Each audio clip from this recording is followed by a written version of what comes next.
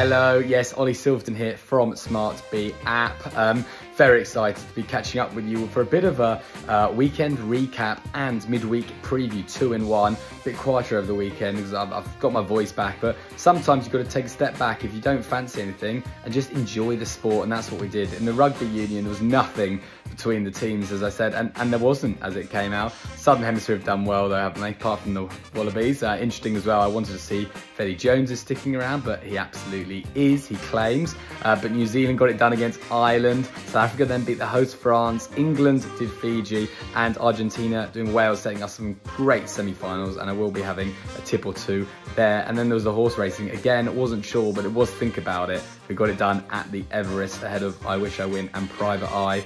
And then we got the Caulfield Cup this weekend. And very interesting to see if Gold Trip, my mate David Eustace Ciaron Maher, if they can get it done after obviously winning uh, the Melbourne Cup last year. So that's all to look forward to. And then also the NFL does some exciting stuff. We, we've had five, six games now. Few teams of five and one. You've got the likes of the Dolphins and Kansas City Chiefs and Philadelphia Eagles all going well. So might have a might have a little look there. Um, my area I enjoy is may not know too much about it, but Premiership Rugby, that's only just back so could also feature. But we're right into spring carnivals, all of that, semi-finals of the rugby union, uh, NFL's kicking off. It's anywhere you look, there's sport. Love to see it. Did you get any winners over the weekend? Um, or if not, or if so, let us know. But also what you're most looking forward to this weekend. Um, can't wait to get involved. I'll be in Paris again, so we'll try and get some more uh, videos. But check out our Insta for some of the atmosphere created in Marseille this weekend. It was absolutely amazing. Um, and uh,